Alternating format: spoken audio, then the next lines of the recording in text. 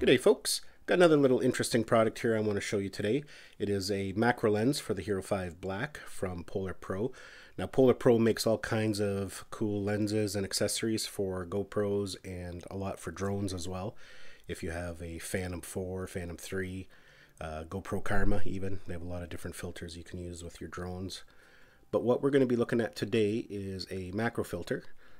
This is one of those things that's not for everybody. It's pretty specific and uh, mainly if you want to do a lot of nice close-up shots you can see there on the picture you know you can get a nice close image with uh, this attached to your GoPro that you can't otherwise achieve just with the stock lens that's on the GoPro. So first let's open it up see what all comes in the box and then we'll kind of go over it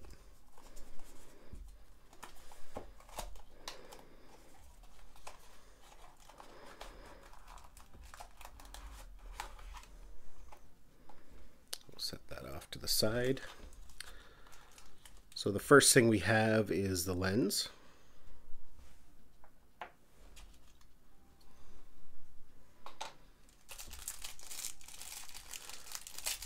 We also have a little case for the lens and this case actually doubles as a microfiber cleaning cloth so you can keep your lens polished up you actually recommend for best results, it's very important to keep these absolutely clean. Any little smudges or dust will cause problems when trying to do macro photography or videography. Has a little strap you can hook up to that little hole there and attach it to your camera somehow. So, you know, if you take this off, it's not going to fall anywhere. A couple stickers and finally some instructions. Basically gives you a basic layout of how to use it, how to install it, some pretty useful information on this little piece of paper. So here it is here and it's actually really easy to install. All you do is you slide it over the existing Hero cover. So it just slips on just like that and stays firmly in place.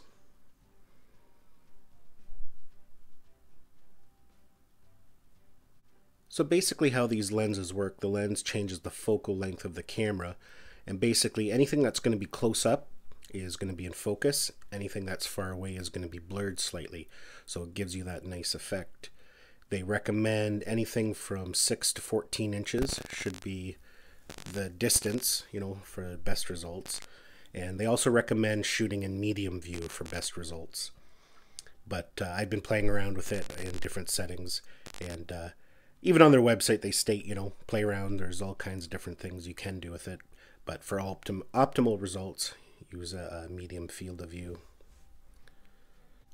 Now this can be used both when shooting video or photography and you can do some really creative things. The reason I decided to get one is last summer a few activities that my girlfriend and I were doing I don't know how many times there was some really close-up stuff I wanted to do and obviously the GoPro just isn't really designed for that.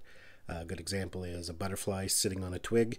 You know, with this you could get right in there and get a beautiful shot, nice and close up, full of color, which you just can't really achieve with the Hero by itself. You can still get a nice shot of it, but not as close and uh, not with a nice blurred background effect. Uh, that just helps bring the subject, you know, makes it pop instead of everything else in the background. I really haven't had much of a chance to use it yet. I just went out this morning and took a few quick shots and a little video clip just for the sake of this video, just so I could give you a bit of a demonstration.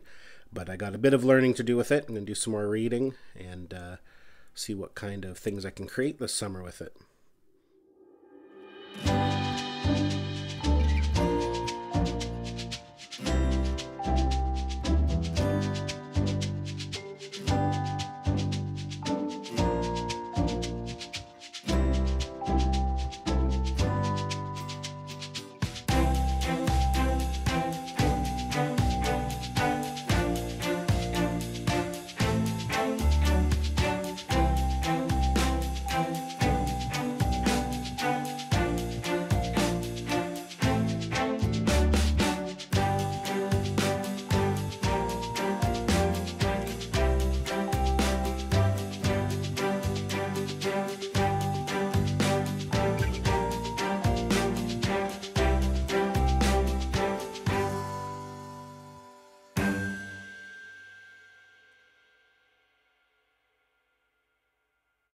So that's really all for this video. What I'll do is I'll include the links down below in the comments down here and uh, you can check this out further and I'll maybe include some links to some of the other filters that they offer for the Hero 5 Black.